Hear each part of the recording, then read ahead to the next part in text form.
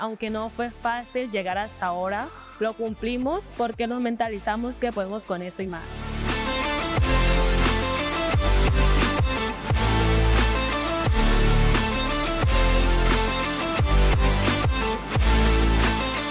Mi siguiente paso es buscar un empleo de acuerdo a lo que aprendí y ir aprendiendo cada vez más sobre lo que quiero construir y seguirme formando en este mundo de la construcción.